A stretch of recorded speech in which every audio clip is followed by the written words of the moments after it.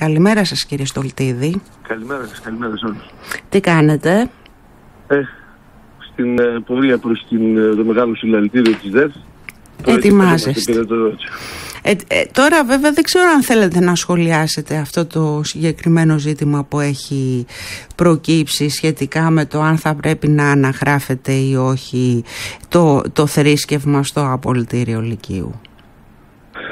Κοιτάξτε, νομίζουμε ότι πέρα από το σίγουρο, το αυτονόητο, ότι ο καθένας μπορεί να εκφράζεται να εκφράζει τα τις θρησκευτικές του πεπιθήσεις σύμφωνα με το πώς τις αντιλαμβάνεται και πρέπει να υπάρχει ελευθερία. Και αν θρησκεία δεν πρέπει να ε, προβάλλονται όλοι αυτοί οι παράγοντες οι οποίοι μπορούν να διαφοροποιήσουν και να δημιουργήσουν διακρίσεις μεταξύ των ανθρώπων και βεβαίως των μαθητών ζητήματα που πρέπει να λυθούν κυρίως για, τον, ε, για τους νεολαίους, για τη νέα γενιά είναι το πώς θα βρουν την πρόσβαση στην ε, δωρεάν παιδεία να καλύψουν την ανάγκη για την πρόσβαση σε ολόκληρη την επιστημονική γνώση με τους καλύτερους όλους για όλους χωρίς διακρίσεις νομίζουμε είναι το κύριο αυτό. Μάλιστα. Ε, κύριε Στολτίδη, ήθελα να σας πω, μας λέτε τώρα ότι προετοιμάζεστε για τη Θεσσαλονίκη. Τα στοιχεία για διαδηλώσεις προφανώς, έτσι δεν είναι; Ναι, ναι. Τώρα βέβαια ε, αναρωτιέμαι γιατί εσείς προχωράτε σε διαδηλώσεις. Ο, η νέα κυβέρνηση προανήγγειλε φοροελαφρύνσεις, ε, μείωση των εισφορών και πολύ καλά στοιχεία της οικονομίας. Ήδη μειώθηκε ο ένφια κατά ένα μεγάλο ποσοστό. Δείχνει δηλαδή η οικονομία να πηγαίνει καλύτερα. Εσείς γιατί θα διαδηλώσετε; Κοιτάξτε, αν το δείτε στο σύνολο α, της οικονομίας, τον, α, το βάλουμε στη βάση των εσόδων και των εξόδων ενός κρατικού μηχανισμού, δεν αλλάζει τίποτα. Είναι το ίδιο αντι, από προσανατολιστικό τερτύπιο όπως αξιοποιόταν και από την κυβέρνηση του ΣΥΡΙΖΑ να δίνει ένα, να το παρουσιάζει σαν επίτευγμα, σαν ελάφρυνση, αλλά βέβαια να δημιουργεί όλες εκείνες τις προϋποθέσεις για να τα πάρει επί 10 πίσω. Και στην προκειμένη περίπτωση την, ε, οποιαδήποτε φοροελάφρυνση αυτή που αναφέρατε στον έμφυα θα ισοπεδωθεί κατευθείαν μετά από την, ε, το άνοιγμα ουσιαστικά του ζητήματος του, της κάλυψης των, ε, της συμφωνίας των μερματήρων όπως λέμε πλεονασμάτων και με τη διεύρυνση της φορολογικής βάσης και με το άνοιγμα της συζήτησης για τη μείωση του ύψους του αφορολόγητου. Είναι η αύξηση μεγάλη ουσιαστικά γιατί έχει τρεις πτυχές ε, στην, ε, της τιμής του ρεύματος.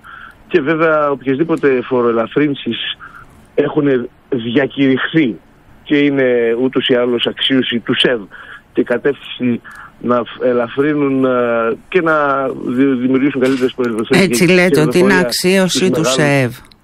Ορίστε. Έτσι λέτε ότι είναι αξίωση του ΣΕΒ. Γιατί το λέτε αυτό; Το να υπάρχουν φοροελαφρύνσεις Καταρχήν οι φορολαφρύνσεις όπως διακηρύχθηκαν, διακηρύχθηκαν προεκλογικά έτσι ούτως ώστε να προσανατολίσουν συνολικά τα στρώματα τα λαϊκά ε, δείχνοντας ότι αφορούν ε, συνολικά τη μεσαία τάξη με μια σύγχυση για το τι σημαίνει μεσαία τάξη. Χθες ακούσαμε τον κυβερνητικό εκπρόσωπο ότι σίγουρα θα προχωρήσουμε στις φορολαφρύνσεις για τις επιχειρήσεις, για αυτή την πολυπόθητη ανάπτυξη την οποία ούτως ή άλλως την είχαν διακηρύξει όλες αυτές τις δεκαετίες και για να, την, να τις δώσουν όθηση κόψανε ουσιαστικά από τα εισοδήματα των λαϊκών στρωμάτων συνολικά, από τις συντάξεις, από το δημόσιο πλούτο και έρχονται τώρα να την παρουσιάσουν ως τέτοια, πάλι ως χάπη για την ε, εκκίνηση της οικονομίας, για την ανάκαμψη.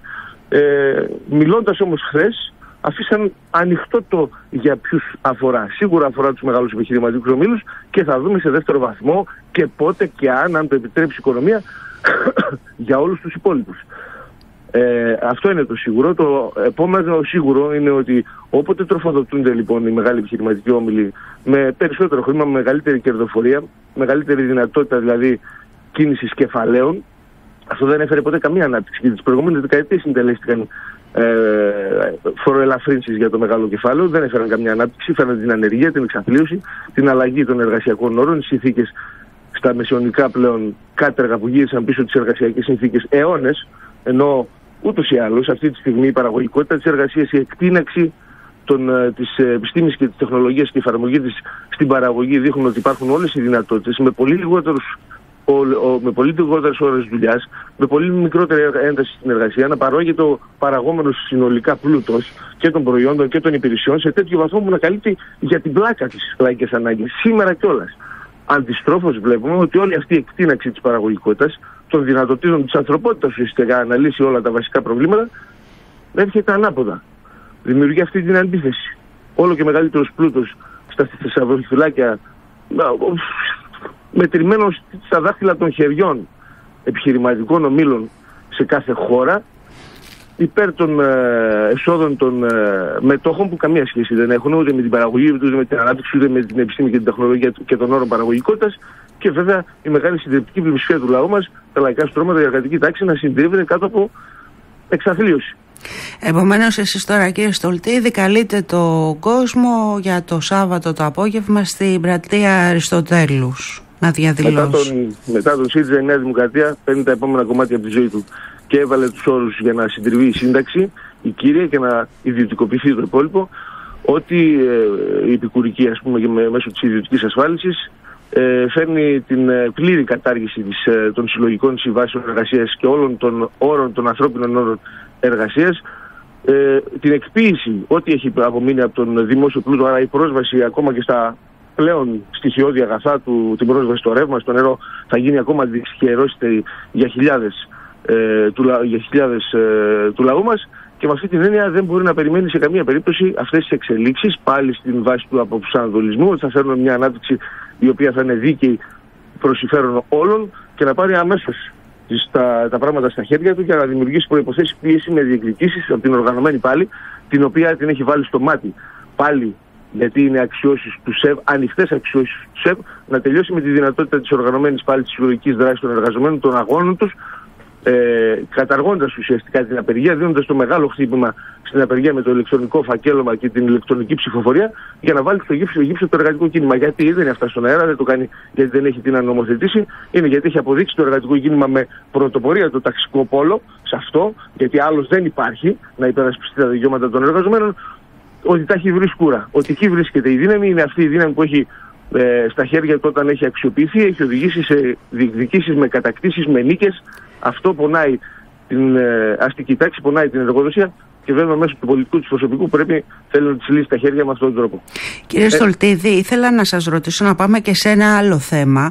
Το, το, ένα άλλο μεγάλο ζήτημα είναι το μεταναστευτικό προσφυγικό. Βλέπουμε να αυξάνονται συνεχώς οι ροές από την Τουρκία και να έχει πέσει πολύ μεγάλο βάρος για μία ακόμη φορά στην Ελλάδα και κυρίως στα ελληνικά νησιά.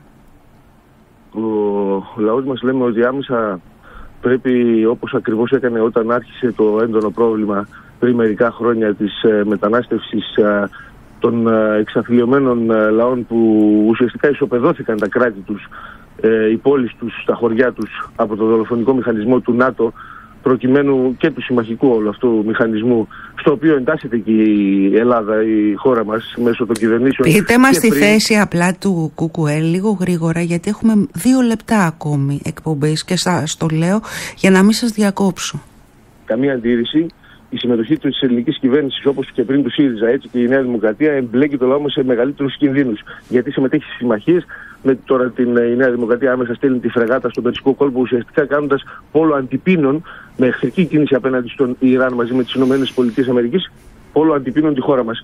Αυτός είναι ο λόγος ε, της δημιουργίας των προσφύγων και της μετανάστευσης. Πρέπει άμεσα να εξυπηρετηθούν όλοι οι μετανάστες με ανθρώπινες συνθήκες διαβίωσης στην υπηρετική χώρα, χωρίς την ανάμειξη των δυσόδων ε, ΜΚΟ, με την ανάμειξη του κράτους μόνο, με τα ευρωπαϊκά κονδύλια και να επαναπροωθηθούν ακριβώς εκεί που θέλουν να πάνε για να επανενωθούν με τις οικογένειες τους. Γίνεται άγρια εκμετάλλευση από, τα, από τους εργοδότες σε κάθε χώρα. Επέλεξαν όσους αυτούς χρειαζόταν, τους εκμεταλλεύονται και εδώ στην Ελλάδα μεταφέροντάς τους με καμιόνια ουσιαστικά για εποχιακές δουλειές και ουσιαστικά καταστολή για όσους θέλουν να φύγουν, να επαναπροωθηθούν στις χώρες στις οποίες είναι ο προορισμός τους και με ευρύτερη καταστολή και με την πιο έντονη και βρώμικη ανάμειξη του ΝΑΤΟ και της Frontex για την επιστροφή τους στις χώρες από τις οποίες ήρθαν. Το λαϊκό κίνημα έχει δώσει απάντηση σε αυτό για να μην ε, αναδύονται πάλι οι φασιστικές και ρατσιστικές φωνές.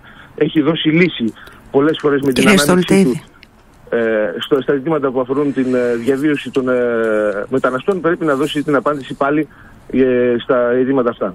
Σας ευχαριστούμε πολύ.